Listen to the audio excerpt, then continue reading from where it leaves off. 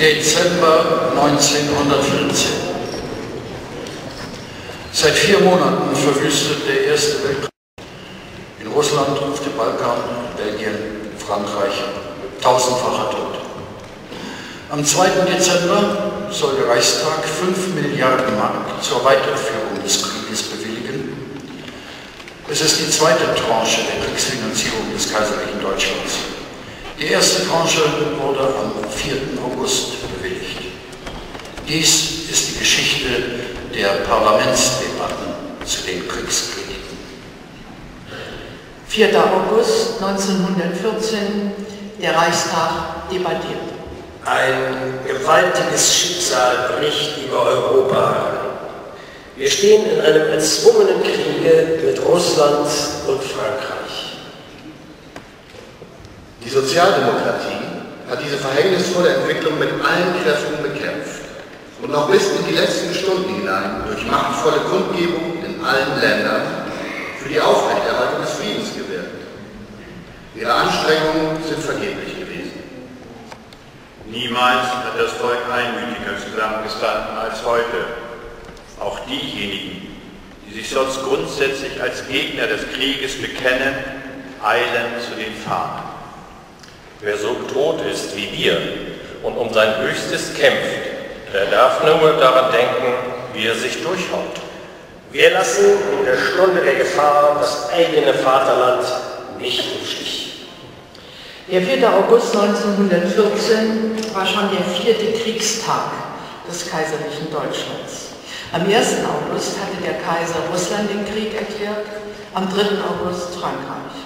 Deutsche Truppen hatten bereits russische Grenzorte besetzt. Im Westen das neutrale Luxemburg und marschierten gen Belgien. Nun stand die Zustimmung zu diesem Krieg durch die Bewilligung der Kriegskredite in Höhe von 5 Milliarden Mark im Parlament, dem kaiserlichen Parlament wohlgemerkt. Gewählt nur von Männern über 25 Jahren, Fürsorgeempfänger und Soldaten ausgeschlossen. In ihm stellten allerdings die Sozialdemokraten die größte Fraktion mit fast 35 Prozent der Abgeordneten. Der 4. August war, so titelten die Zeitungen, der historische Tag des Reichstages größte Stunde, die Stunde der Bewilligung der Kriegskredite. 5 Milliarden für den Krieg, die finanzielle Rüstung für Kaiser, Reich und Volk. Die Eröffnung der Kriegssitzung des Reichstages fand um 1 Uhr mittags. Zunächst gar nicht im Parlament, sondern im Weißen Saal des Hohenzollernschlosses durch den Kaiser statt. Zitate aus seiner Thronrede. Mit schicksalsschwerer Stunde habe ich die gewählten Vertreter des deutschen Volkes um mich versammelt. Auf Sie, geehrte Herren, blickt heute in schicksalsschwerer Stunde habe ich die gewählten Vertreter des deutschen Volkes um mich versammelt. Auf Sie, geehrte Herren, blickt heute um seine Fürsten und Führer geschah das ganze deutsche Volk. Fassen Sie Ihre Entschlüsse einmütig und schnell. Das ist mein inniger Wunsch.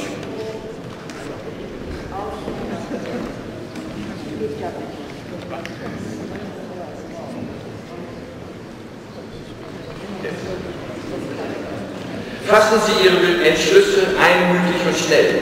Das ist mein inniger Wunsch. Ich wiederhole, ich kenne keine Partei mehr, ich kenne nur Deutsche und zum Zeugen dessen, dass sie fest entschlossen sind, ohne Parteiunterschiede, ohne Standes- und Konfessionsunterschiede zusammenzuhalten, mit mir durch dick und dünn, durch Not und Tod, fordere ich die Vorstände der Parteien auf, vorzutreten und mir dies in die Hand zu geloben. Protokoll und Zeitungsberichte vermerken an dieser Stelle stürmisches Bravo, Jubel, nicht enden wollender Beifall aller Anwesenden. Die Abgeordneten der sozialdemokratischen Fraktion waren nicht anwesend. Ihre Vorstände legten das Anschlaggelöbnis nicht ab. Trotzdem berichtete die bürgerliche Presse vom Tage, dass mit Sicherheit auch die Sozialisten den Vorlagen der Regierung zustimmen würden. Und auch der Vorwärts meldete, Sozialdemokratische Fraktion fasste in einer Montagnachmittag abgehaltenen Fraktionssitzung den Beschluss, für die von der Regierung angeforderten Kriegsmitglieder zu stimmen. Durch Abgabe einer Erklärung wird sie ihren Beschluss begründen. 4. August 1914. Für 3 Uhr nachmittags ist die Plenarsitzung angesetzt. Der Berichterstatter der Vossischen Zeitung schreibt, auf der Bundesratsestrade drängen sich die Regierungsvertreter. Im Saale ruht es unter den zahlreich erschienenen Abgeordneten nur dort, wo Polen und Elsässer sitzen, gähnen einige Lücken. Einige der Volksboten sind in Uniform erschienen, in Paradeuniform, während die Militärs auf der Bundesratsestrade zum Teil in Feldgrau gekleidet sind. Auf der rechten sieht man fast nur Kavallerieoffiziersuniformen, in der Mitte herrscht die Infanterie. Punkt Viertel nach drei Uhr eröffnet der Präsident die Sitzung. Nicht einmal eine Stunde dauert die Debatte und nur drei Redner ergreifen das Wort. Drei Prototypen des Wilhelminischen Reiches. Erstens Reichskanzler Theobald Bethmann-Hollweg, Sohn eines Rittergutsbesitzers, 1856 geboren, Jurist, Landrat, Regierungspräsident, preußischer Innenminister. Kein Sozialistenfresser. Nach der Reichstagswahl 1912 gab er offiziell August Bebel die Hand, was ihm von seinesgleichen nie verziehen. Auch kein Falke der Kriegspolitik. Zweitens Parlamentspräsident Johannes Kempf, Bankdirektor, Präsident des Deutschen Handelstages, 1842 geboren. Linksliberaler des ersten Berliner Wahlbezirks, Freimaurer. Drittens der Fraktionsführer der Sozialdemokraten Hugo Haase, Sohn eines jüdischen Schuhmachers und Händlers, 1885 geboren, Journalist, Jurist, jahrelang der erste und einzige sozialdemokratische Rechtsanwalt in Ostpreußen, Strafverteidiger zusammen mit Liebknecht. Noch am 29. Juli hatte er zusammen mit dem französischen Sozialistenführer Jean Jaurès an einer großen Antikriegskonferenz und Kundgebung in Brüssel teilgenommen, zwei Tage bevor Jaurès in Paris ermordet wurde. Aus der Rede des Reichskanzlers von Bethmann-Hollweg. Ein gewaltiges Schicksal bricht über Europa herein. Seit wir uns Deutsche Reich und Ansehen in der Welt erkämpften, haben wir 44 Jahre lang in Frieden gelebt und den Frieden Europas geschirmt. In friedlicher Arbeit sind wir stark und mächtig geworden und darum beneidet. Mit zäher Geduld haben wir es ertragen, wie unter dem Vorwande, dass Deutschland kriegslüstern sei, in Ost und West Feindschaften genährt und Fesseln gegen uns geschmiedet wurden. Der Wind, der da gesäet wurde, geht jetzt als Sturm auf. Wir wollten in friedlicher Arbeit weiterleben. Und wie ein unausgesprochenes Gelübde ging es vom Kaiser bis zum jüngsten Soldaten. Nur zur Verteidigung einer gerechten Sache soll unser Schwert aus der Scheide fliegen. Lebhaftes Bravo. Der Tag, da wir es ziehen müssen, ist erschienen. Gegen unseren Willen, gegen unser redliches Bemühen. Russland hat die Brandfackel an das Haus gelegt. Stürmische Rufe, sehr richtig, sehr wahr. Wir stehen in einem erzwungenen Kriege mit Russland und Frankreich. Meine Herren, wir sind jetzt in der Notwehr. Lebhafte Zustimmung. Und Not kennt kein Gebot. Stürmischer Beifall. Unsere Truppen haben Luxemburg besetzt. Bravo. Vielleicht schon belgisches Gebiet betreten. Erneutes Bravo. Meine Herren, das widerspricht den Geboten des Völkerrechts. Die französische Regierung hat zwar in Brüssel erklärt, die Neutralität Belgiens respektieren zu wollen, solange der Gegner sie respektiert. Wir wussten aber, dass Frankreich zum Einfall bereitstand. Hört, hört. Rechts. Frankreich konnte warten, wir aber nicht. Ein französischer Einfall in unsere Flanke am unteren Rhein hätte verhängnisvoll werden können. Lebhafte Zustimmung. So waren wir gezwungen, uns über den berechtigten Protest der luxemburgischen und der belgischen Regierung hinwegzusetzen. Sehr richtig. Das Unrecht, ich spreche offen, das Unrecht, das wir somit tun, werden wir wieder gut zu haben, sobald unser militärisches Ziel erreicht ist. Bravo. Wer so bedroht ist wie wir und um sein Höchstes kämpft, der darf nur daran denken, wie er sich durchhaut. Anhaltender, brausender Beifall und Händeklatschen im ganzen Hause und auf den Tribünen. Meine Herren, soweit die Hergänge. Ich wiederhole das Wort des Kaisers. Mit reinem Gewissen zieht Deutschland in den Kampf. Bravo. Unsere Armee steht im Feld. Unsere Flotte ist kampfbereit. Hinter ihr das ganze deutsche Volk. Andauernder, lebhafter Beifall und Händeklatschen auf allen Seiten des Hauses und auf den Tribünen. Der Reichstag erhebt sich. Das ganze deutsche Volk. Zu den Sozialdemokraten. Ein, bis auf den letzten Mann. Erneuter, minutenlanger, jubelnder Beifall. Sie, meine Herren, kennen Ihre Pflicht in ihrer ganzen Größe. Die Vorlagen bedürfen keiner Begründung mehr. Ich bitte um ihre schnelle Erledigung. Stürmischer Beifall und Händeklatschen. Nun ergreift der Parlamentspräsident Johannes Kempf das Wort.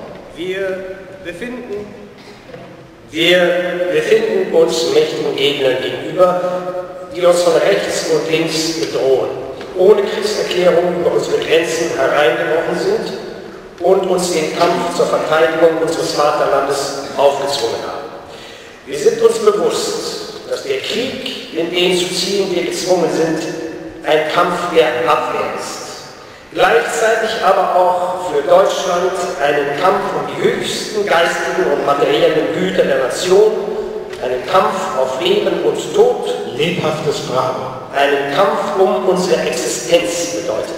Wiederholtes, lebhaftes Bravo auf allen Seiten. Der Augenblick, in dem der Reichstag sich anschickt, angesichts des Ausbruchs des Krieges die Gesetze zu votieren, die für den Krieg und für das wirtschaftliche Leben während des Krieges die sichere Grundlage zu bieten bestimmt sind, ist ein feierlicher und tief ernster, aber zu gleicher Zeit ein unendlich großer und erhebender. Bravo. Niemals hat das ganze Volk einmütiger zusammengestanden als heute.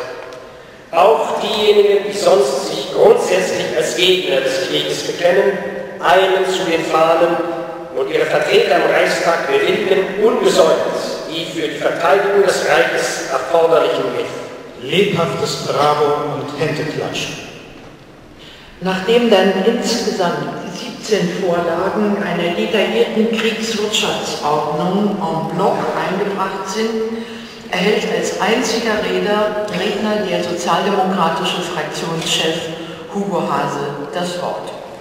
In den Berliner Neuesten Nachrichten heißt es am folgenden Tag, Zur Tribüne steigt ein Mann hinauf, auf den sich alle Blicke wenden. Wie er am Rednerpulte steht, die Arme über die Textbogen seiner Erklärung gekreuzt, ist er sich des Widerhalls seiner Worte über Deutschland hinaus bewusst.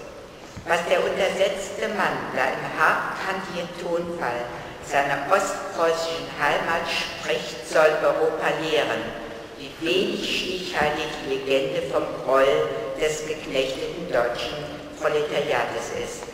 Erst mit Hases Worte ist der Ring geschlossen. Deutschlands Herz schlägt in einem Takt. Aus der Rede von Hugo Hase. Meine Herren, im Auftrag meiner Fraktion habe ich folgende Erklärung abzugeben. Wir stehen vor einer Schicksalsstunde. Die Folgen der imperialistischen Politik, durch die eine Ära des Wettrüstens herbeigeführt wurde die Gegensätze unter den Völkern sich verschärften, sind wie eine Sturmflut über Europa hineingebrochen. Die Verantwortung hierfür fällt den Trägern dieser Politik zu. Sehr wahr bei den Sozialdemokraten. Wir lehnen sie ab. Bravo bei den Sozialdemokraten. Die Sozialdemokratie hat diese verhängnisvolle Entwicklung mit allen Kräften bekämpft. Und doch bis in die letzten Stunden hinein hat sie durch machtvolle Kundgebungen in allen Ländern, namentlich im innigen Einverständnis mit den französischen Brüdern, lebhaftes Bravo bei den Sozialdemokraten, für die Aufrechterhaltung des Friedens gewirkt. Erneuter lebhafter Beifall bei den Sozialdemokraten. Ihre Anstrengungen sind vergeblich gewesen. Jetzt stehen wir vor der ehernden Tatsache des Krieges. Uns drohen die Schrecknisse feindlicher Invasion. Nicht für oder gegen den Krieg haben wir heute zu entscheiden, sondern über die Frage der für die Verteidigung des Landes erforderlichen Mittel. Lebhafte Zustimmung bei den bürgerlichen Parteien. Nun haben wir zu denken an die Millionen Volksgenossen, die ohne ihre Schuld in dies Verhängnis hineingerissen sind. Sehr wahr bei den Sozialdemokraten. Sie werden von den Verheerungen des Krieges am schwersten getroffen. Sehr richtig bei den Sozialdemokraten. Unsere heißen Wünsche begleiten unsere zu den Fahnen berufenen Brüder ohne Unterschied der Partei. Lebhafte, allseitiges Bravo und Händeklatschen. Wir denken an die Mütter, die ihre Söhne hergeben müssen, an die Frauen und Kinder, die ihres Ernährers beraubt sind und denen zu der Angst um ihr Leben die Schrecken des Hungers drohen. Zu diesen werden sich bald Zehntausende verwundete und verstümmelte Kämpfer gesellen. Sehr wahr. Ihnen allen beizustehen, ihr Schicksal zu erleichtern, diese unermessliche Not zu lindern, erachten wir als eine zwingende Pflicht. Lebhafte Zustimmung bei den Sozialdemokraten. Für unser Volk und seine freiheitliche Zukunft steht bei einem Sieg des russischen Despotismus, der sich mit dem Blut der Besten des eigenen Volkes befleckt hat, Lebhafte Rufe, sehr wahr bei den Sozialdemokraten. viel, wenn nicht alles auf dem Spiel. Erneute Zustimmung. Es gilt, diese Gefahr abzuwehren, die Kultur und die Unabhängigkeit unseres eigenen Landes sicherzustellen. Bravo. Da machen wir wahr, was wir immer betont haben. Wir lassen in der Stunde der Gefahr das eigene Vaterland nicht im Stich. Lebhaftes Bravo. Wir fühlen uns dabei im Einklang mit der Internationale, die das Recht jeden Volkes auf nationale Selbstständigkeit und Selbstverteidigung jederzeit anerkannt hat. Sehr richtig bei den Sozialdemokraten. Wie wir auch in Übereinstimmung mit ihr jeden Eroberungskrieg verurteilen. Sehr gut bei den Sozialdemokraten. Wir fordern, dass dem Kriege, sobald das Ziel der Sicherung erreicht ist und die Gegner zum Frieden geneigt sind, ein Ende gemacht wird durch einen Frieden, der die Freundschaft mit den Nachbarvölkern ermöglicht. Bravo bei den Sozialdemokraten. Wir hoffen, dass die grausame Schule der Kriegsleiden den neuen Millionen den Abscheu vor dem Kriege wecken und sie für das Ideal des Sozialismus und des Völkerfriedens gewinnen wird. Lebhaftes Bravo bei den Sozialdemokraten. Von diesen Grundsätzen geleitet bewilligen wir die geforderten Kriegskredite. Lebhafter Beifall bei den Sozialdemokraten. Weitere Wortmeldungen liegen nicht vor. Ich schließe die erste Beratung. Wir treten sofort in die zweite Beratung ein. 15 Minuten später wird ohne Debatte in die dritte Lesung der Vorlagen übergegangen. Vizepräsident Dr. Pasche ergreift das Wort. Ich eröffne also die Generaldiskussion in Verbindung mit der Einzelberatung und schließe sie, wenn jemand das Wort wünscht. Ich bitte dann, dass diejenigen Herren, die in der Generalabstimmung in dritter Lesung alle die vorhin verlesenen und unverändert angenommenen Gesetze annehmen wollen, sich von den Plätzen zu erheben. Protokoll. Das Haus erhebt sich einmütig. Langanhaltender, stürmischer und begeisterter Beifall und Händeklatschen. Ich konstatiere die einstimmige, begeisterte Annahme aller Vorlagen. Wiederholter stürmischer Beifall und Händeklatschen im Hause und auf den Tribünen. Zur selben Zeit hält sich der Botschafter Großbritanniens, Sir Edward Goschen, im Reichstag auf. Die Vossische Zeitung berichtet in ihrer Morgenausgabe vom 5. August 1914, Kurz nach der Rede des Reichskanzlers, in der bereits der durch das Betreten des belgischen Gebietes begangene Vorstoß gegen das Völkerrecht freimütig anerkannt und der Wille des Deutschen Reiches, die Folgen wieder gut zu machen, erklärt war, erschien Sir Edward Goschen, um dem Staatssekretär von Jago eine Mitteilung seiner Regierung zu machen. In dieser wurde die deutsche Regierung um alsbaldige Antwort auf die Frage ersucht, ob sie die Versicherung abgeben könne, dass keine Verletzung der belgischen Neutralität stattfinden würde. Staatssekretär von Jago erwiderte sofort, dass dies nicht möglich sei. Die Sitzung im Reichstag schließt um 5 Uhr und 20 Minuten. Kurz nach 7 Uhr erschien der Botschafter Großbritanniens im Auswärtigen Amt, um im Namen seiner Regierung dem Deutschen Reich den Krieg zu erklären und seine Pässe zu fordern. Damit endete der vierte Kriegstag, der 4. August 1914. Die Nachrichten lauteten, der Weltkrieg beginnt. Drei Nachträge. Die Vossische Zeitung schreibt in ihrer Beilage vom nächsten Tag, eine wahrhaft denkwürdige Sitzung. Der Reichskanzler spricht es am Schluss aus. Denkwürdig nicht so sehr durch die gefassten Beschlüsse an sich, als durch den Geist, in dem sie gefasst wurden. Die Kriegskredite und einige notwendige Maßregeln sollen bewilligt werden. Ohne Widerspruch wird beschlossen, die Debatte über die Vorlage zusammenzufassen. Und dann spricht nur einer, der Sozialdemokrat Hase. Wir wollen hier nicht untersuchen, wie weit innerliche Überzeugung, wie weit kluge Anpassung an die Volksstimmung bei dieser kurzen Erklärung beteiligt waren. Wir wollen nicht darüber nachsinnen, was das Hirn der 111 Abgeordneten, deren Vorgänger 1870 jeden Kredit für den Krieg mit Frankreich verweigert haben, so umformen konnte, dass sie heute einmütig für die gewaltige Ausgabe stimmen. Wir wollen lediglich mit freudiger Genugtuung feststellen, dass die sozialdemokratische Fraktion die geschlossene Reihe der Volksgenossen nicht durchbrach, dass sie nicht abseits stand in dem Kampf um Deutschlands Existenz und dass Herr Hase eine Rede hielt, die nach Ton und Inhalt durchaus würdig war. Die tägliche Rundschau kommentiert so.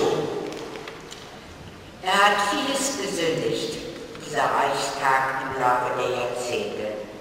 Er hat mit endlosen Regen das deutsche Land überschwemmt, ohne dass diese Flut dieses Land merklich befruchtete. Dies alles zerstob.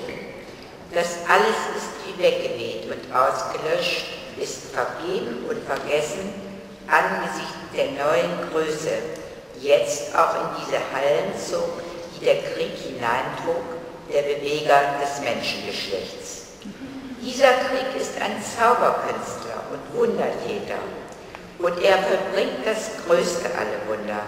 Er zwingt die Sozialdemokraten an die Seite ihrer deutschen Brüder. Wer vor ein paar Monaten behauptet hätte, die Sozialdemokratie werde 5 Milliarden dem Kaiser für einen Weltkrieg bewilligen oder gar ein Hoch auf ihn ausbringen, den hätte man wohl angesehen, als ob er nicht recht bei Trost wäre. Und doch hat im tiefen Ernst dieser Stunde auch die Sozialdemokratie zurückgefunden zu ihren deutschen Blutsbrüdern und den Deutschen in sich entdeckt. Das ist ein Ereignis von so gewaltiger Tragweite, dass es nachwirken wird wie eine große gewonnene Schlacht. Der dritte Nachtrag stammt von Karl er hat nach dem 4. August immer wieder versucht, darauf hinzuweisen, dass die Fraktion der Sozialdemokraten keineswegs einstimmig die Bewilligung der Kriegskredite befürwortet habe. 14 Abgeordnete wollten ein Minderheitenvotum. Eine Mehrheit von 78 Fraktionsmitgliedern, einigen Enthaltungen, habe sich aber letztlich in allen Punkten durchgesetzt. Dem Text der Erklärung, dem Vortrag durch den Fraktionsvorsitzenden Oase, der zur Minderheit der Kriegsgegner gehörte und sich bis zum letzten Moment weigerte, als Redner zu gehen, bis die Mehrheit ihn dazu nötigte, und dem Zustimmungszwang aller Mitglieder der Fraktion im Plenum, ohne Ausnahme. Am, 8, am 26. September 1914 schreibt Liebknecht. Nach meiner Ansicht wäre es die Pflicht der deutschen Reichstagsfraktion gewesen, der schärfsten Form jede Verantwortung für den Krieg abzulehnen, der durch eine von uns seit je bekämpfte Politik hervorgerufen ist, an dem die herrschenden Klassen Deutschlands in hohem Grade mitschuldig sind und der im Allgemeinen eine Folge der von uns grundsätzlich bekämpften kapitalistisch-imperialistischen Entwicklung darstellt. Nur die schärfste Form des Protestes war ausreichend. Durch die Bewilligung der Kredite hat die sozialdemokratische Reichstagsfraktion trotz aller in der abgegebenen Erklärung enthaltenen Vorbehalte die Verantwortung übernommen. Selbst vom denkbar nationalsten Standpunkt aus hat unsere Fraktion einen ungeheuerlichen Fehler gemacht. Durch ihre Zustimmung hat sie nur scheinbar die militärische Kraft Deutschlands gestärkt. In Wirklichkeit liegt es anders. Sie hat dadurch zugleich alle Dämme niedergerissen, die im Auslande dem Krieg und der äußeren und inneren Beteiligung der Volksmassen an diesem Krieg entgegenstanden. Bei einer anderen Haltung unserer Fraktion hätte der Krieg, insbesondere weder in Frankreich noch in Russland noch in England, so populär werden können, wie er geworden ist. August, September, Oktober November 1914. Vier Monate Krieg und der Kaiser braucht aufs Neue 5 Milliarden Mark und dafür die Zustimmung des Parlaments. Termin der zweiten Kriegskreditssitzung des Reichstages ist der 2. Dezember. Die Tageszeitungen titeln Siegeswille und Zuversicht. Belgrad gefallen. 19.000 Serben gefangen. Glänzende Waffentat unserer Osttruppe. In drei Wochen über 80.000 Russen gefangen. Angriff auf Arras. Bombardement von Ranzen. Erfolg deutscher U-Boote und Kanonen, zehn englische Kriegs- und 54 Handelsschiffe vernichtet. Neue Schlacht an der Isère. Mit Kriegsausbruch war das Recht auf freie Meinungsäußerung aufgehoben worden. Seit Oktober 1914 gab es ein zentrales Zensurbuch. Alle Presseerzeugnisse unterlagen der Zensur, die sich zunächst auf unerwünschte militärische Informationen konzentrierte, bald aber auch Berichte über die Stimmung in der Bevölkerung und über Konflikte innerhalb der politischen Bereiche erfasste. Ein Beispiel? So wurde das Erscheinen des Vorwärts für drei Tage vom Oberbefehlshaber Generaloberst Gustav von Kessel verboten. In der Ausgabe des Vorwärts vom 1. Oktober 1914 muss dieser Vorgang bekannt gemacht werden. Der Rechtsanwalt Mohase, Mitglied des Reichstages, hat zusammen mit dem Geschäftsführer des Vorwärts, Richard Fischer, Mitglied des Reichstages, am 28. diesen Monats um Aufhebung meines Verbotes vom 27. diesen Monats gebeten. Auf die von mir gestellte Bedingung, dass in Zukunft in Rücksicht auf die mit Kriegsausbruch hervorgetretene Einmütigkeit des deutschen Volkes das Thema Klassenhass und Klassenkampf im Vorwärts nicht mehr berührt werden dürfte, hat Herr Hase durch Schreiben vom heutigen Tage erklärt, dass die Redaktion des Vorwärts im Einverständnis mit den Aufsichtsinstanzen den Entschluss bekundet hat, für die Dauer des Kriegszustandes die Zeitung unter jener von mir geforderten Bedingungen zu redigieren und die zur Durchführung derselben notwendigen Maßnahmen innerhalb der Redaktion zu treffen. Unter diesen Umständen erkläre ich mich bereit, mein Verbot des Vorwärts vom 27. diesen Monats aufzuheben, ersuche aber, dieses Schreiben an der Spitze der nächsten Nummer der Zeitung zu veröffentlichen. Der Oberbefehlshaber von Kessel, Generaloberst.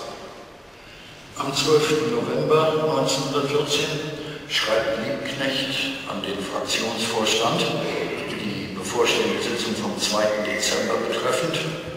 Wir müssen auf eine gründliche Beratung dringen, die uns die Möglichkeit gibt, unsere Auffassung zur politischen Lage nach allen wesentlichen Richtungen hin öffentlich darzulegen. Wir haben hier die Möglichkeit, alles das zu sagen, was uns in Presse und Versammlungen die Militärdiktatur verbietet. Ich wiederhole die Forderung nach einer parteioffiziellen, öffentlichen und scharfen Stellungnahme gegen die Annexionspolitik. Der Moment gebietet es. Die deutsche Sozialdemokratie darf hier nicht schweigen. Am 29. November 1914 trat die Fraktion der Sozialdemokraten zu einer zweitägigen Sitzung zur Vorbereitung der Reichstagssitzung am 2. Dezember zusammen.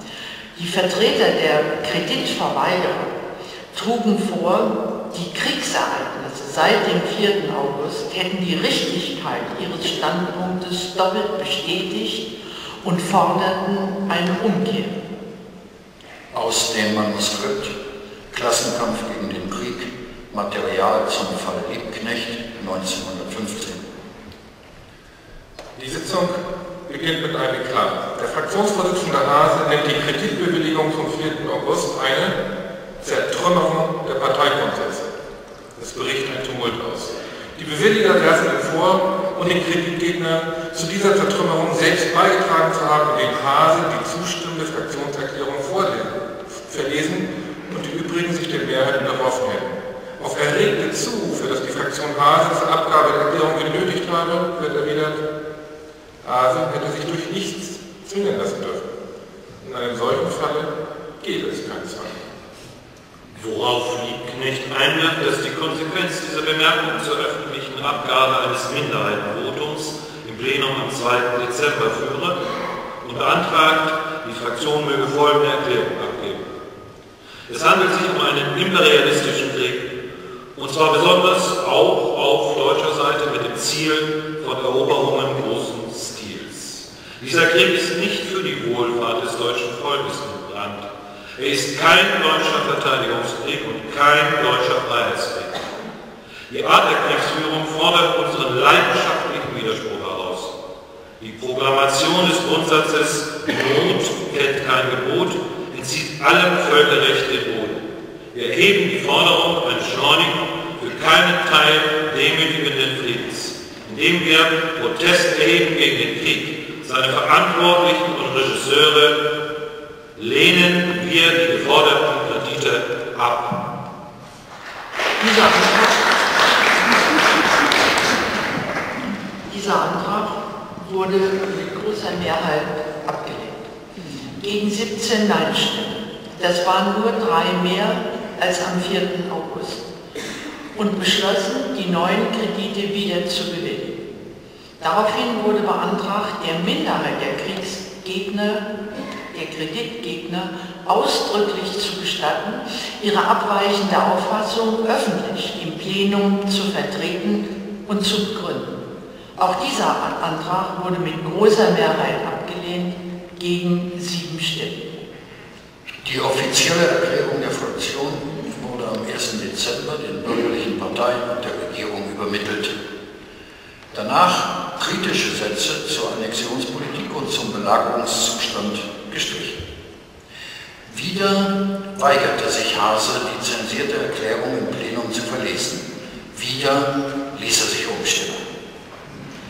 Wieder, wieder, wieder.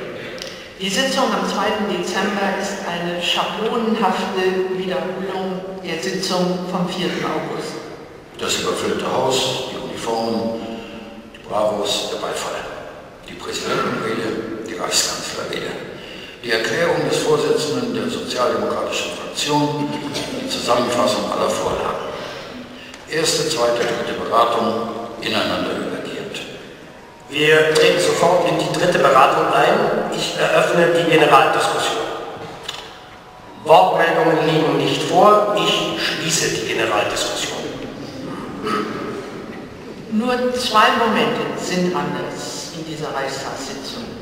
In den Reihen der sozialdemokratischen Fraktion gibt es einen leeren Platz mit einem Lorbeerkranz.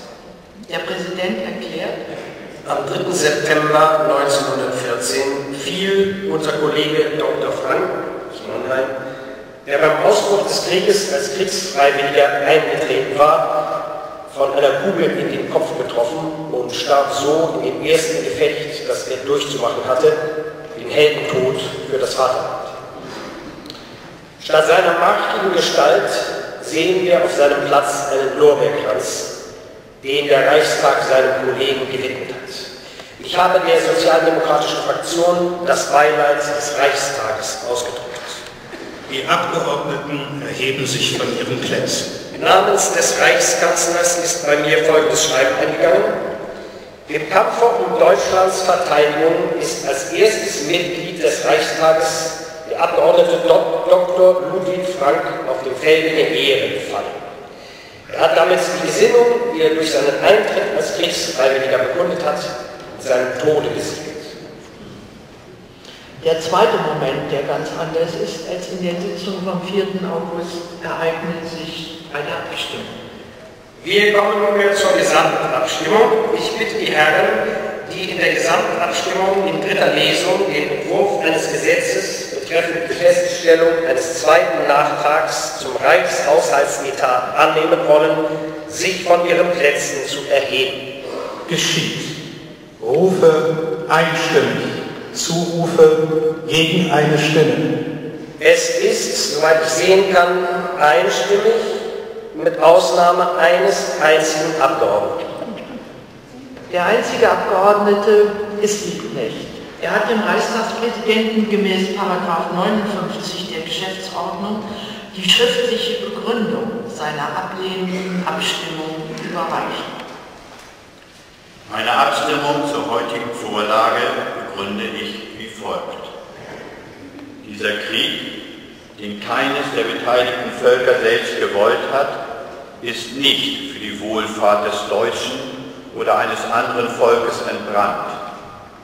Es handelt sich um einen imperialistischen Krieg, einen Krieg um die kapitalistische Beherrschung des Weltmarktes, um die politische Beherrschung wichtiger Siedlungsgebiete für das Industrie- und Bankkapital.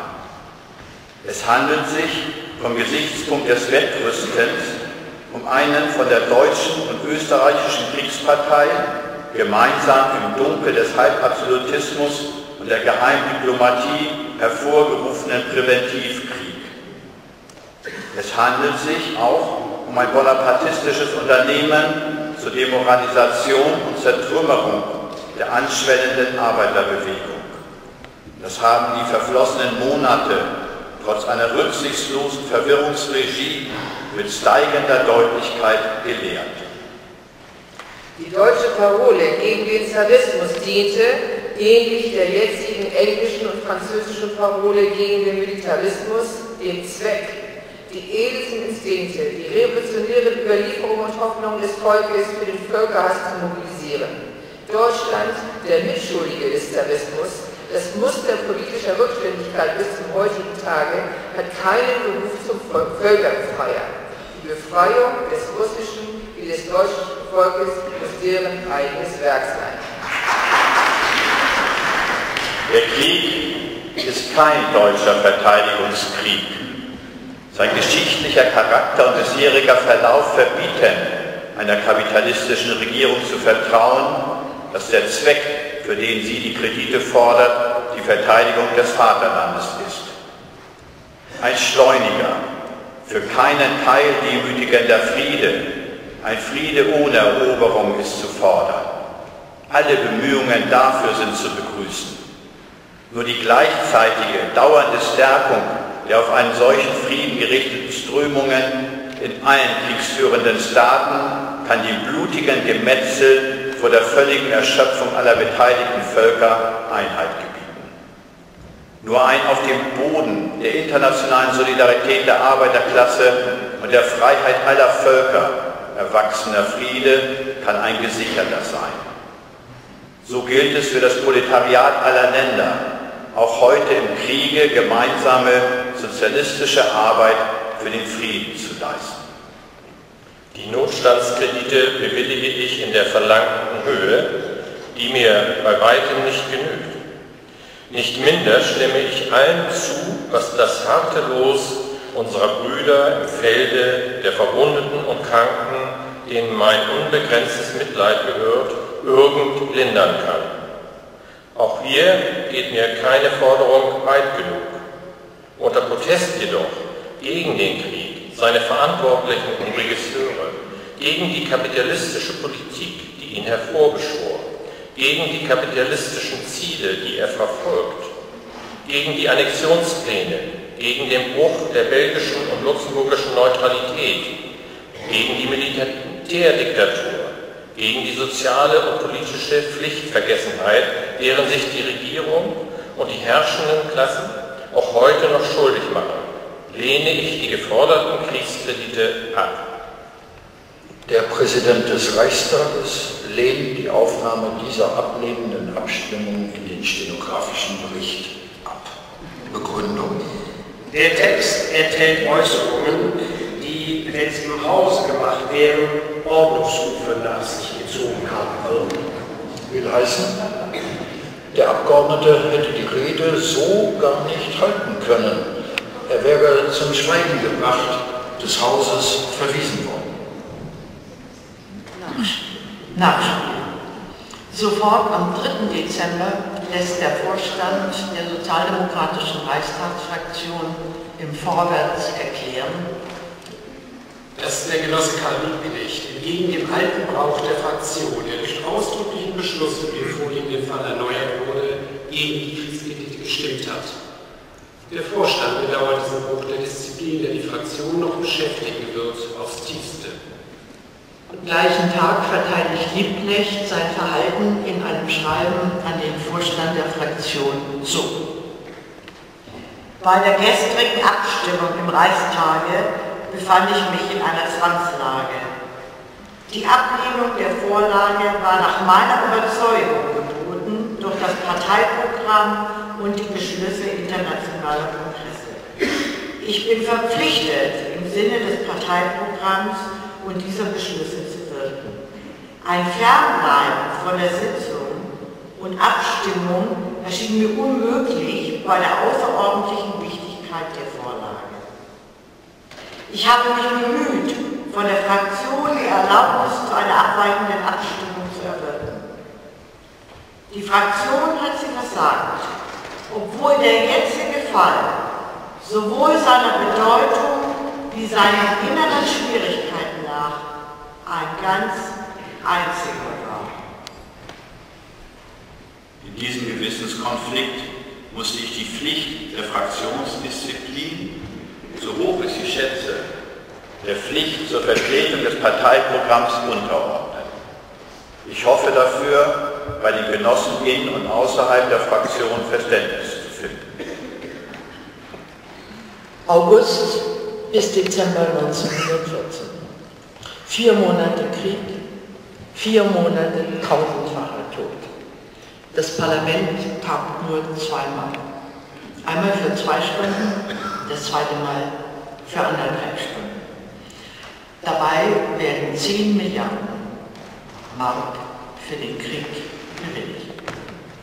Karl Kraus wird später in seinem Drama Die letzten Tage der Menschheit schreiben, die grellsten Erfindungen sind Zitate.